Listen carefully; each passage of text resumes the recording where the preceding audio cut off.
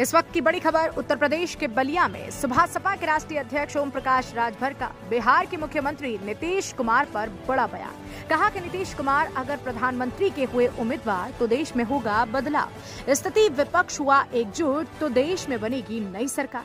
यही नहीं ओम प्रकाश राजभर ने दिए बड़े संकेत। कहा, बिहार की तरह हरियाणा में भी बदलेगी सरकार, अंदर खाने की खबर। ओम प्रकाश राजभर ने सरकार से की बड़ी मांग। कहा, देश की आईएएस और आईपीएस का हो नार्को टेस्ट। इनके पास है जमा बड़ा माल। इनके साथ साथ देश के बड़े नेताओं का भी हो नार्को टेस्ट। ओम प्रकाश राजभर के साथ हो इसकी शुरुआत। बलिया से संजय कुमार तिवारी की रिपोर्ट।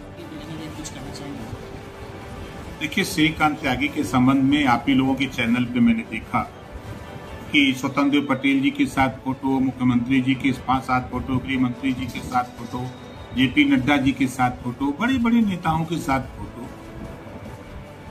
तो भाई जहाँ अब उसकी इतनी पकड़ है तब डर किस बात का? लेकिन हम तो धन्यवाद देते हैं माननीय मुख्यमंत्री जी को कि भाजपा का नेता कह कर नेता कह करके बचता रहा। लेकिन मुख्यमंत्री जी ने जो दाव लगाया तो दाव में फंस गया बेचारा।